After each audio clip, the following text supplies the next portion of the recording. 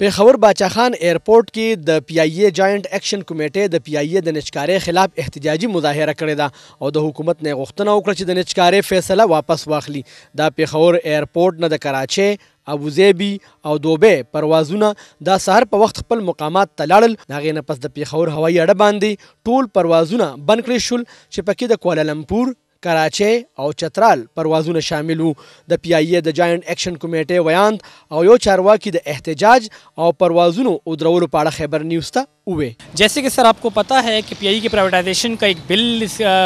مزدور دشمن ګورنمنټ جسکو هم بولېنګ ګې اس نې نکالا تا جس کې خلاف پانچ چهې دن سې همارا پروټیسټ پر امن چل رها تا آج هم لوګو نې فلائټ آپریشن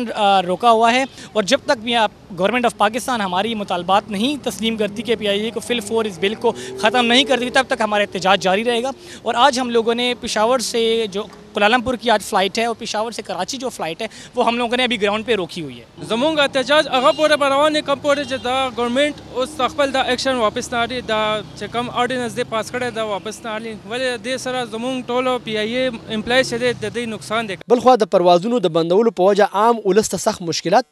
مخې ته راغلل. باهر ملکو مې لوګو نې جانا هې انټرنېشنل فلائټس هې نېشنل فلائټس هې کوئي بهي نهي چل رهي اور اس پې تو بهت سارې لوګ پرېشان هې اور کوئي بهت سارې کامو پې فرق پړ رها هې. د پي آئي اېم ملازمينو د نچکارۍ په ضد احتجاجي لړۍ جاري ساتلو او د سروس اېکټ په ضد عدالتي لارې اختيارولو پخلی کړی دی او هغوی ويلي دي چې د پېښور باچا خان اېئرپورټ نه به تر هغې د جهازونو اوچتولو اجازت نه ورکوي تر څو پورې چې د هغوی مطالبات وفاقي حکومت نه وي منلې.